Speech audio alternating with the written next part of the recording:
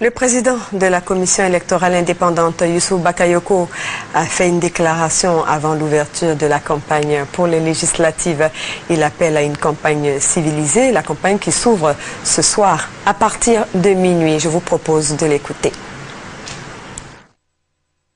Ivoirienne, Ivoiriens, chers frères et sœurs, à zéro heure sera ouverte la campagne électorale pour l'élection des députés à l'Assemblée nationale prévue le 11 décembre 2011.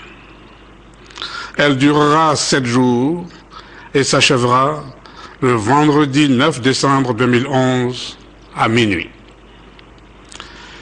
Comme j'ai eu à le faire lors de l'élection du président de la République, je viens encore vers vous pour vous exhorter à faire preuve de civisme, de discipline et de sagesse.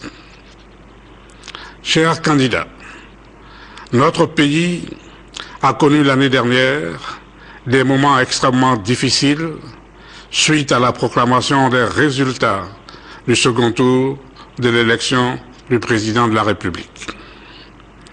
Les traumatismes endurés par les uns et les autres ne sont assurément pas encore entièrement cicatrisé. Aujourd'hui, nous abordons une autre étape, la dernière du processus de sortie des crises, entamé depuis la signature le 4 mars 2007 de l'accord politique de Ouagadougou. La commission électorale indépendante, en charge de la conduite à bonne fin du processus électoral, voudrais compter sur vous pour mener durant les sept prochains jours une campagne électorale pacifique, empreinte de tolérance, d'esprit de convivialité, de fraternité et de respect de l'adversaire pour permettre à nos compatriotes de se rendre le jour du scrutin dans le bureau de vote avec assurance et sérénité. Unissons donc nos efforts pour franchir les dernières marches, à savoir la campagne électorale et la tenue du scrutin proprement dit. Toutes choses qui ouvriront, nous le souhaitons vivement, la voie d'une nouvelle ère de normalité institutionnelle, de cohésion sociale, d'unité et de paix pour notre pays.